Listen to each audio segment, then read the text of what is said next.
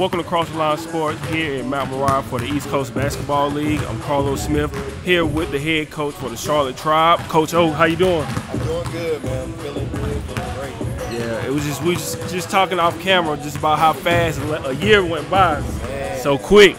If you feeling like the season's over with, and you only got two months to prepare, right back at it, man. So back. season, it's crazy how the season we already halfway. So yeah. it's just like as quick as the season like and it goes as well, you know. So. Back to the grind, back to the grind.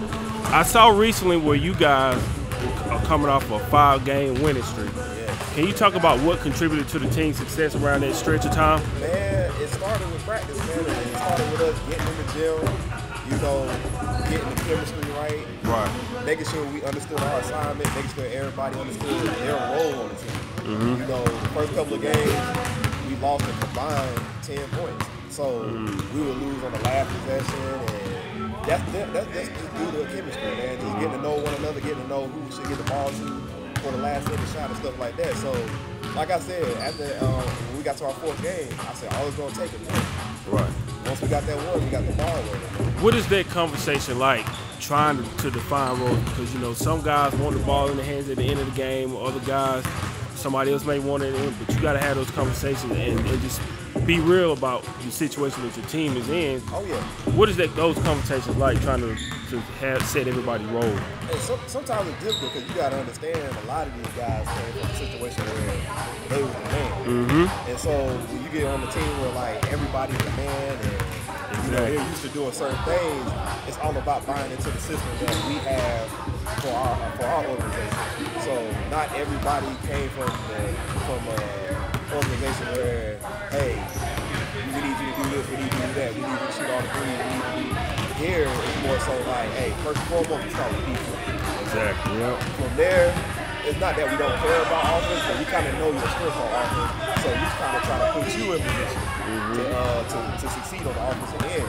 So everybody has a role on the offensive end, but depending on how the game is going, is where we're going to go, and where the ball's going to go for the most part. I think I said the same thing last year as far as like one thing that, uh, that travels with any team, no matter where they go, is defense. Yeah. So the defense will create offense. As long as you guys take care of the ball and do what you're supposed to do on the defensive end of the floor, then everything else will fall into yeah, place. Everything else will definitely fall into place, and that's what I preach. It's just like, hey, if anything, if the offense not going, hey, at least the other team can't score either. So exactly. that's my philosophy. Like, if, if, we can't score, then they shouldn't be able to score either. So exactly. our main thing is like, you know, get a couple steals, get a couple layups.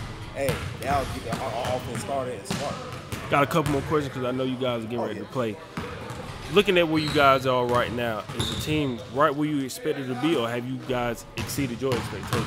Um, we're pretty much right where we want to be. There's still a few things that we still got to work out to mm-hmm. make that playoff push. but we know down the stretch, every game starts. like every game matters, but down the stretch, it's just like you can't afford to lose. You can't afford to mm-hmm. take plays off during the game. You can't afford to do a lot of things as you get down the stretch. Because now you're starting to realize who's in the playoff picture and who's not. So when you realize who's in the playoff picture and stuff like that, everything has a sense of urgency now. Like everything is heightened up to a whole new level. So your focus got to be top notch. This is the first time you guys are playing the Web Dogs this season. It's a totally different team from last year. Uh, a lot of new faces. In. Um, what do you expect to see from these guys this time around? Man, um, I definitely expect them to be better than they were last year. I definitely, they always compete. That's the one thing I know about it. They gonna compete until the buzzer goes off, until the mm-hmm. last second runs off that clock. So we have to make sure we match that intensity, match that effort. Um, they definitely got uh, a better team for our guards and stuff like that. Definitely got to give respect to that. Um, they just more focused. They're more mm-hmm. focused. And so with a team like that, you have to be careful. You got to make sure you don't come in here lazy and, and, and playing around. You got to make sure you match that energy. You guys have a, a new, a different team as well. Mm-hmm. How does this team differ from the, the, team that you guys had assembled last year when, when the Web Dogs first played? I think this year's team has more shooting. Uh, one mm-hmm. of the things that we wanted to address in the offseason is get more shooting on our team, and so uh, we went and did that. Uh, we shoot the ball a lot better than we did last year, uh, especially from the perimeter, uh, which opens up the floor for our bigs. You know, there's not a lot of double team going on because now you got shooters around the perimeter. You don't want to do that, you know. So we got better around the perimeter. Defense is still the same. We're playing great Mm-hmm. defense. We're holding opponents uh, on average 105 points a game. So you know, with the extra shooting, it definitely helps. That's a big deal considering defenses, um, how, how much offenses score a lot, a lot nowadays, especially with the three-point game. Do you feel like overall with the game of basketball, defense is still as valued as I know you guys emphasize it, but do you feel like the defensive end of the ball is still emphasized as much as it should be, like it used to? Used to? I think it's emphasized, but you have to look at some of the rules changes Right. that it Mhm. benefits the offense more.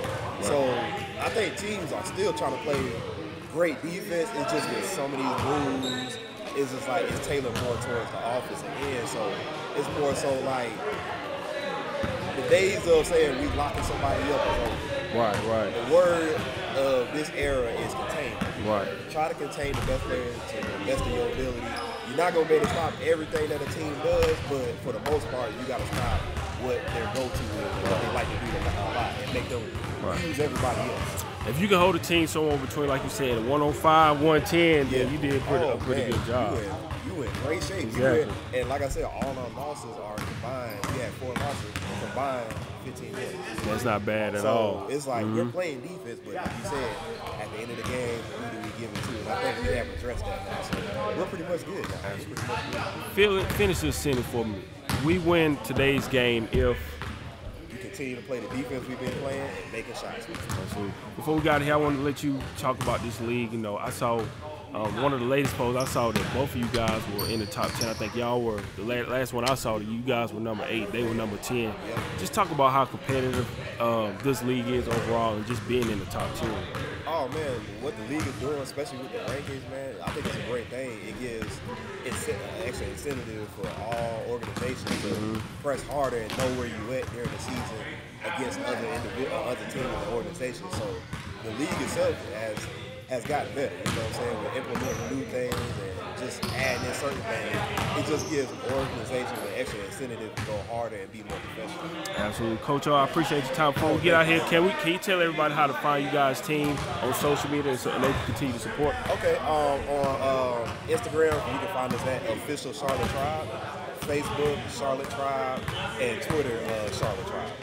Absolutely, Coach. Thank you for your time. Always, Good luck for today. Appreciate it. Appreciate it. Absolutely.